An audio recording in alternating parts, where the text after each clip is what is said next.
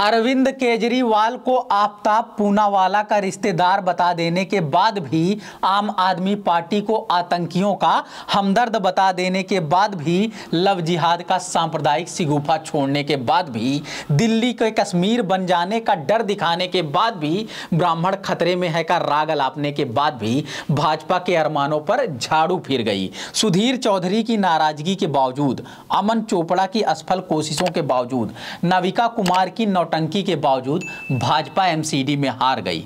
पंद्रह साल से चल रही थी एमसीडी में सत्ता एक झटके में चली गई, आखिरकार चली गई। इसके बाद भी अगर किया जा रहा है दावा कि मेयर तो भाजपा का ही बनाकर दिखाएँगे तो सवाल पूछना चाहिए भाजपा नेताओं से, पार्षदों को पैसे से खरीदेंगे या मुकदमे से डराएँगे? घर में नज़रबंद करेंगे या रिसोर्ट लेकर जाएँगे? विधानसभा में आठ सीटों पर सिमट गई थी जो पार्टी, अब सौ से ज़्यादा पार्षद लेकर आई है। क्या यही कहकर आपस में मन बहलाएँगे? एक दूसरे की पीठ थपथपाएँगे नमस्कार, मैं समर राज। बोलता हिंदुस्तान में आपका स्वागत है। वैसे तो नगर निगम चुनावों को विधानसभा और लोकसभा चुनाव की तरह राजनीतिक सत्ता से जोड़कर नहीं देखा जाता है, मगर शहरों में होने वाले विकास कार्यों की अधिकतर ज़िम्मेदारी इसी की होती है। और जब मुंबई और दिल्ली जैसे महानगरों में निगम का चुनाव होता है तो जमकर ज़ोर आजमाइश होती है। हज़ारों करोड़ के बजट का फैक्टर तो होता ही है, साथ ही राजनीतिक ताकत की भी आजमाइश होती है। ऐसे में एमसीडी चुनाव की तारीखों का ऐलान ही नहीं किया जा रहा था। मानो चुनाव आयोग भाजपा का साथ निभा रहा था।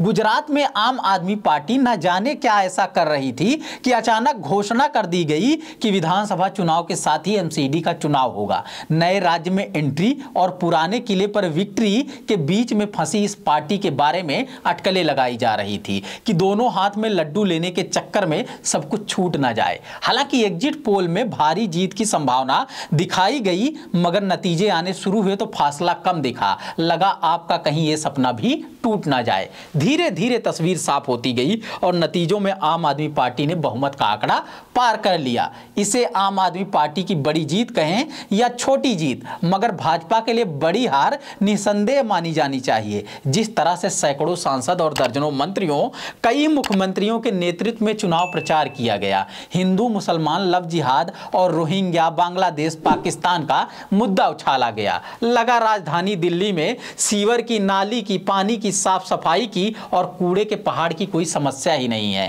खैर, अब उन्हें चुना गया है जो इन समस्याओं के समाधान की बात करते हैं, काम तो करते हैं, मगर बहुत बात करते हैं। इसलिए अब मतदाताओं का अधिकार बनता है कि साफ़ सुथरी दिल्ली की मांग करे। जहाँ कहीं दिखे कोई भी अव्यवस्था, अपने पार्षद को पकड़े और बोले, काम करें, सिर्फ़ और सिर्फ़ काम करे। इस बीच दिख जाए कोई टीवी का रिपोर्टर तो बोले साफ़ रखे दिल्ली सांप्रदायिक कचरा ना करें।